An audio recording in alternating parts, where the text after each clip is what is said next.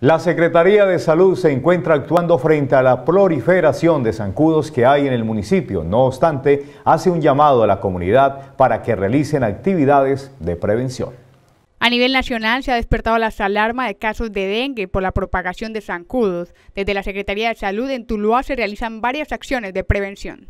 Con estos climas, el tema de que llueve, escampa, hace sol, eh, y sobre todo pues eh, con la lluvia hace que en diferentes lugares de las casas, de las zonas digamos comunes, de las calles se empose agua. Como tal, eh, allí se van generando los criaderos de zancudos. Nosotros como municipio comenzamos ya todo el tema de controlar varios en los sumideros con el fin de evitar que hayan criaderos de zancudos.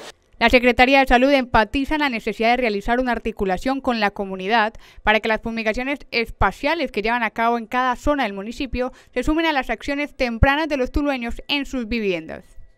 Eh, estamos visitando diferentes barrios en viviendas donde estamos eh, haciendo revisión de, de unos lugares donde hemos evidenciado que hay personas que no hacen el debido lavado de los tanques, que tienen en los patios agua con eh, llantas con agua acumulados o ollas o frascos, digamos que, que agua y esto genera un criadero de zancudos.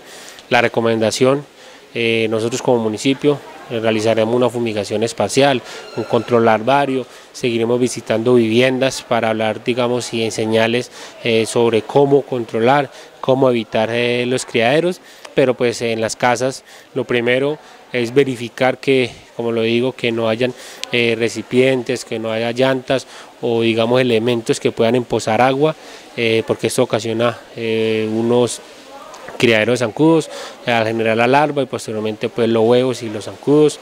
Entre las recomendaciones está cambiar el agua de los floreros y principalmente lavar adecuadamente los tanques de agua. Mientras tanto, la Secretaría seguirá realizando las fumigaciones.